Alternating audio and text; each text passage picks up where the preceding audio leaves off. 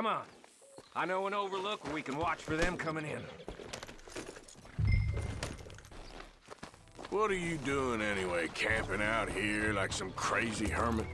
Can't exactly stay in town now, can I? Like I told you, I ain't going back to Dutch without a peace offering.